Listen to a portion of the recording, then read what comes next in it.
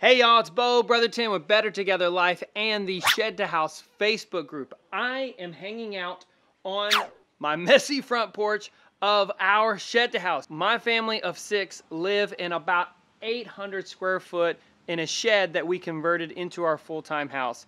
It is 16 by 44 with two sleeping lofts for my kids. And I always want to share with you cool designs whenever I see them. I went to Home Depot and I saw these two shed to houses. One is a 16 by 20 and one is a 16 by 16.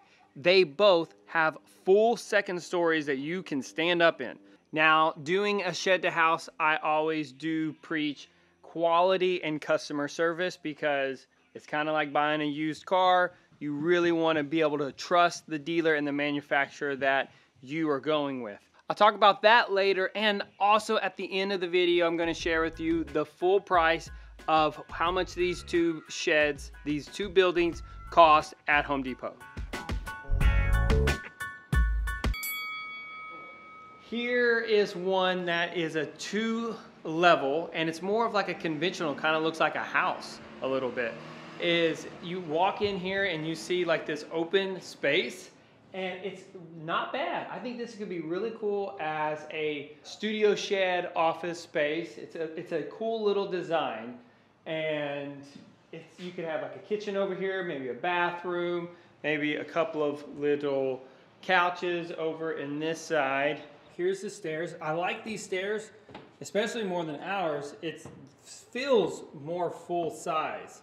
Okay, then as we come up here to the second level, as you can see, I can fully stand up. It's not bad. One thing that I am feeling right now is up here, we're right at a really busy highway and you can feel the wind. So anywhere near a freeway, I can kind of feel the, the wind in the building. And that's something that in our 16 by 48 barn style, more long and lower, you don't really have that feeling of wind. I don't know if that means that my house is better built than this one. What I would want you to see is that there are different options for shed to house alternatives. You don't have to do the barn style long that you could look at finding a builder that would do an on-site build for you. And this is a really cool one. Like if you want a full two story, this is a great, great option. You know what else is a better option? Smashing that like button for the YouTube algorithm.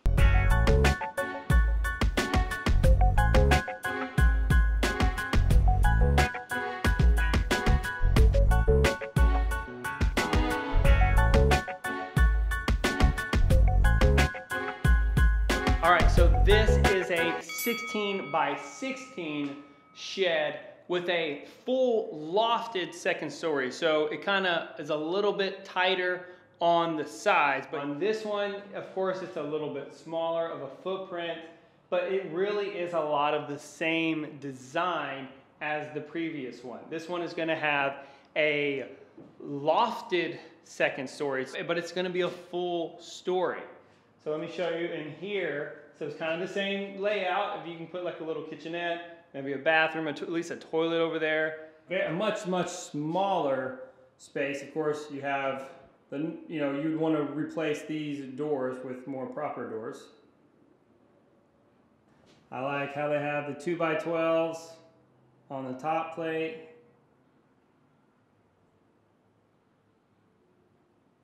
Okay, what I did notice here is these are more like my stairs. They're just a little bit narrower. I think it's because of the smaller footprint of this overall building. Now I would definitely want to upgrade the floor in here. And then now up here in the second floor, still you can stand up. I cannot express how I would much prefer to have a full story in our kids' sleeping lofts. It's a bummer. That's why I think you can build this on site. I'm not saying, like if you were to go with the United Portable Building or, you know, and find a local dealer with them, uh, for us here in Texas, it is Farm and Yard, and then in Mississippi, it's Rebel Outdoor Products. We love those guys. With United, you can do an on-site build for something similar to this. So you don't have to be locked in to the shed look. They will come and they will build it a second story. Uh, man, as I'm here again, this second story, you can feel the movement of the wind. So I don't know if that's the construction of it or if it's just how having a full story in one of these floor plans are. I'm not sure why you can feel the wind as much as you can. It's probably because it's not tied down. Like for what United would do, they would put hurricane straps built into the frame. Before you do the outside siding, they would have hurricane straps built into the frame that you can anchor down to the ground. That will add so much more stability. So it's not a bad idea. The thing that I like most about this is that you can come here and kind of see these ideas, or you can watch our videos to get different ideas. This is cool. The main thing is you do not have to be locked in to having a very small loft. Now, of course, having something built on site will increase the cost. But do you know what doesn't cost a thing? Destroying that like button for the YouTube algorithm.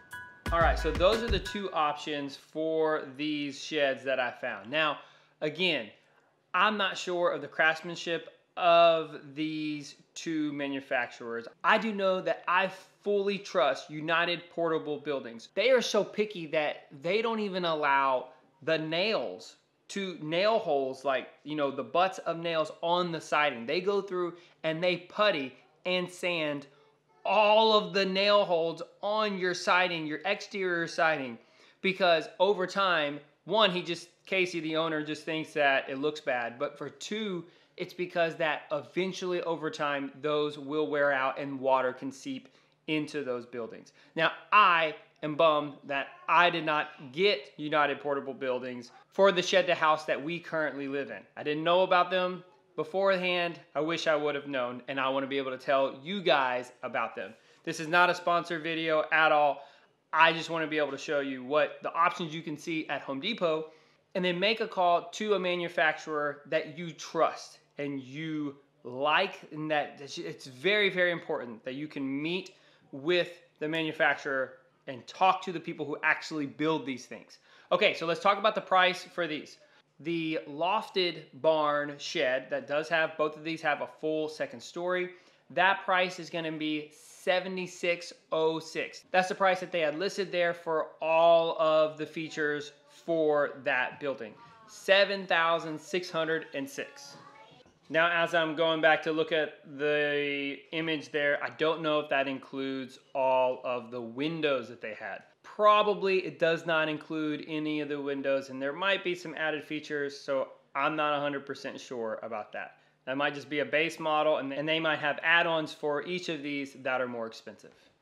Okay, so now talking about the 16 by 20 that had the full second story, a more typical pitched roof. That cost is gonna be 10,888. And again, looking at the image here, it looks like that is not including all the windows. And then I'm sure that there's probably some add-ons that that building that I showed you had that this price doesn't include.